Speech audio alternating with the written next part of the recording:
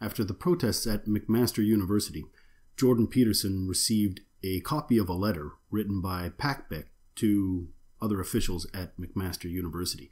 PACBIC is the President's Advisory Committee on Building an Inclusive Community. Subsequently, Jordan Peterson has also posted a video on YouTube entitled Go Ahead, Make My Day. He is encouraging and offering to debate anyone on the issues of science and biological sex. Although his video touches upon all of the letter, he reads it in its entirety. I just wanted to touch upon two sections. The first of which reads Instead, the concept of freedom of speech has most often been mobilized to protect specific counter hegemonic ideas, ideas that actually challenge rather than reiterate the status quo. Freedom of speech was also not conceived as a means to protect normative ideas from contestation by marginalized communities, but to protect those whose speech might actually contest normative or nationalist ideals from censure, punishment, or retaliation by state forces. Now, to me, it clearly misses the point. Free speech is supposed to apply to everybody, regardless of what your opinion is. The government can place limitations on speech that may be excessively detrimental or harmful, but it should do so with the utmost caution and only for the most heinous or outrageous of offenses or violations. The letter here is basically saying that the group that is being oppressed gets to use freedom of speech, not the group that is just trying to keep things the way they are. And the question there becomes well, who's being oppressed? Who's got the counter ideas and whose ideas should be protected by allowing argument and open discussion. How wrong they are in this letter is clear, I think, just by this one point. Freedom of speech has to apply to everybody on either side of that argument. Again, unless it is so detrimental and so heinous and it is doing something that it incites violence, freedom of speech has to apply to everybody.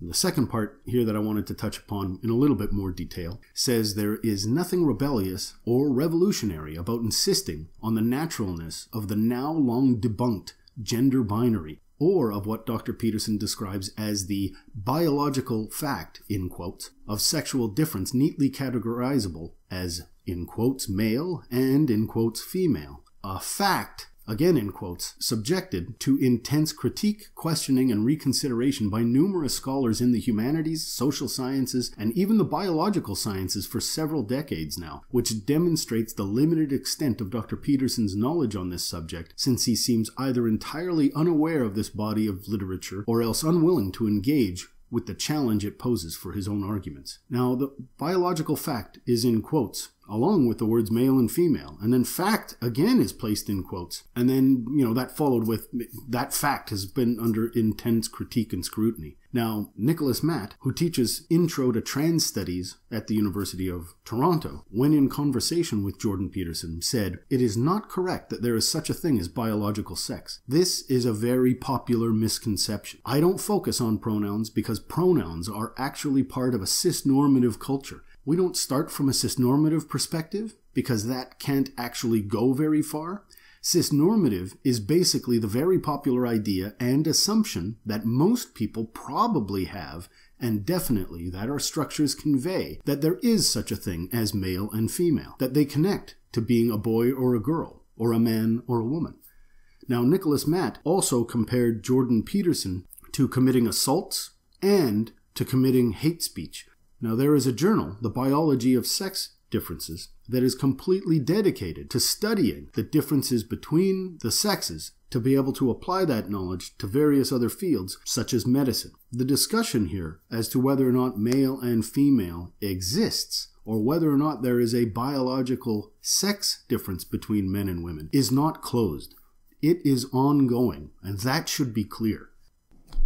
What's so often lost in all of this debate is that Jordan Peterson began with a disagreement in the use of legislation. The principle of the government making law that compels speech is what he disagrees with. For him, the matter transcends the transgender issue entirely. We've got a list of pronouns, and pronouns can be used in the first person, the second person, and the third person. So in the first person, that's I or me. In the second person, it's you, regardless of singular or plural. In the third person, this is where the masculine and feminine potentially comes in. She, her, he. they and them. And you'll notice the they and them apply in the plural form, don't have masculinity associated with them either. So it's only third person singular where there's any gender association with it whatsoever. Aside from personal pronouns, there could be demonstrative pronouns, and that refers to things near or far. This, these, that, and those. No gender identifying difference there. Indefinite pronouns anybody, anyone, anything, each, either. The plural forms both, few, many, several. Singular or plural all, any, most, none, or some. There is no gender identification in those pronouns at all.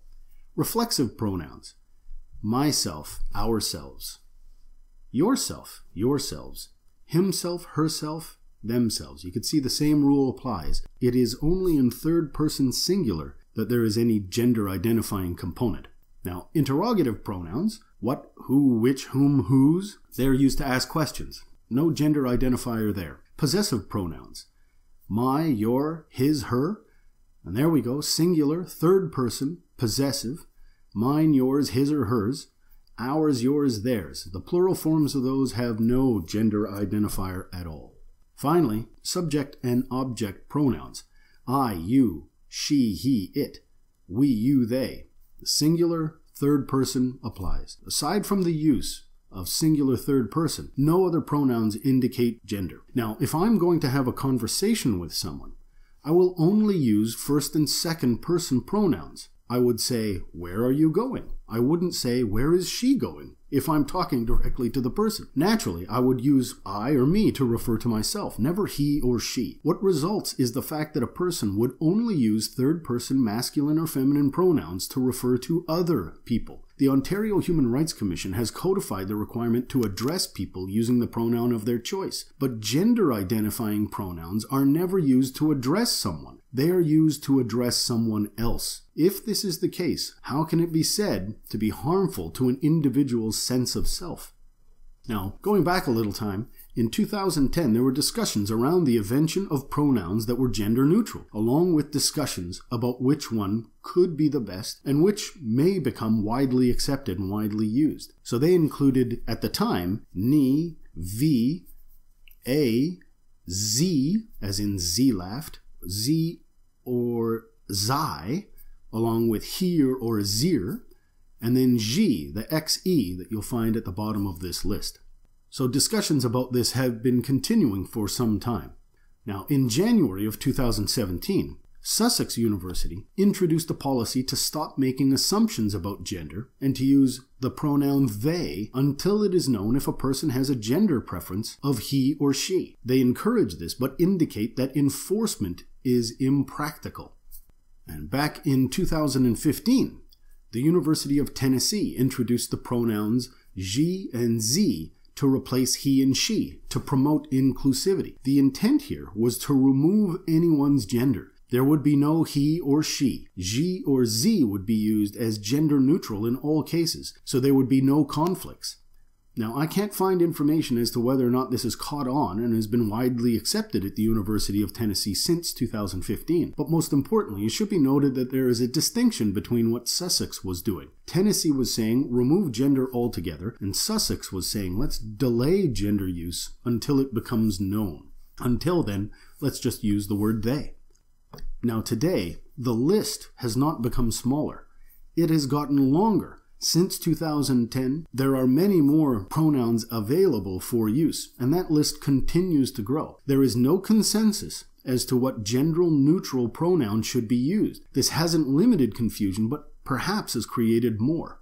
So, this list of third person singular gender neutral pronouns include, we'll just go through some nominative A, E, E or A, C, S slash H E, along with here, the HIR version, Z, G, V, ve, ze or z, e, as in e laughed, then to be used with I kissed m or I kissed het, thon, who, hesh, ni, here, with an apostrophe, and then to be used with him er, also with an apostrophe or without, N, high,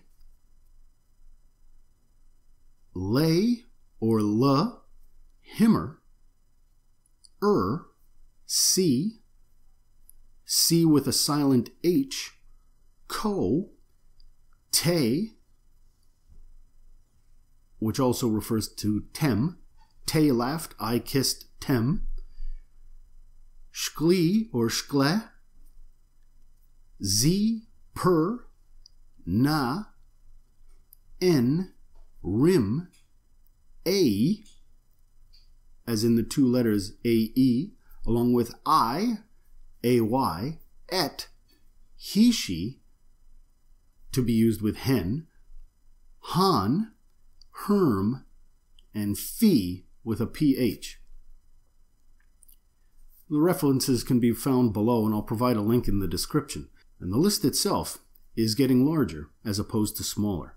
And that's an indication that within the transgender community and the community at large, it hasn't been agreed to yet on which way to go when it comes to the use of this type of language. Jordan Peterson had first begun discussing his issue on the implementation of law. There wasn't a school policy, a suggestion, or a social test being conducted to try to implement the usage of a new word. The Ontario Human Rights Commission believes it is a discriminatory violation to not refer to a person by a pronoun of their choice. The list is growing and is not well defined. Since we are only referring to third person pronouns, a person can state, Why does it matter? What's the difference if it is almost never going to come up? And the appropriate response may be that until the gender neutral or gender altering pronoun list is agreed upon within the transgender community, the best place to start should not be by imposing discrimination law on others. Implementing policies such as Sussex or Tennessee are perhaps